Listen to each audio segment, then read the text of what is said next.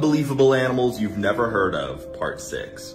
This is the Himalayan fur goblin, and it's one of the planet's deadliest animals. This creature is a mind-altering parasite and uses gullible people to carry out its life cycle. Once the fur goblin invades a home, it brainwashes the people living there into thinking they adopted it as a pet. The fur goblin's body is so pathetic and weak that they can't touch the ground. So they use their psychic abilities to force their victims into carrying them anywhere they need to go.